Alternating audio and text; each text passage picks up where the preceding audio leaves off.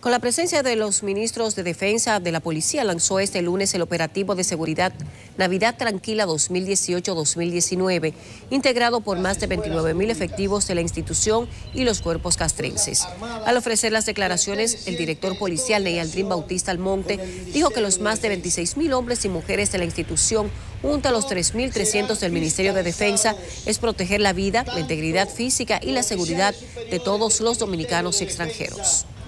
las autoridades, todos, hemos coordinado un plan en el que establecimiento de bebida que viole la regulación, que tiene que ver con el sonido cerrado, en lo cual le permitan gente que pueda ingresar con armas de fuego cerrado,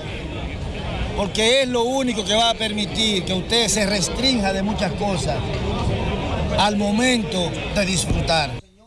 Advirtió que aunque fue levantada la restricción al horario de venta de bebidas alcohólicas desde el pasado primero de diciembre hasta el lunes 7 de enero, no permitirán que la contaminación sónica se extienda en ningún horario ni por ningún motivo, por lo que hizo un llamado a respetar el sosiego y la tranquilidad de la sociedad.